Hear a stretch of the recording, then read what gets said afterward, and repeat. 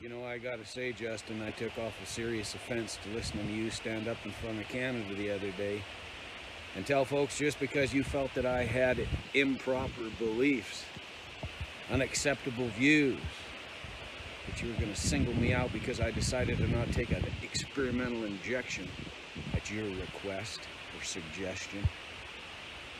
Now you're gonna single me out. You're gonna decide whether you should tolerate me or not and that I take up space? Yeah, fucker, I take up my own space in this country and I earned my spot here. Something that you sure as fuck didn't. I earned this place with the calluses on my hands, the blood and the sweat that ran from my body. And I'm sick and fucking tired of watching you screw up my country. So it's time, fucker. Pack your bags, put your tail between your legs, and fuck off.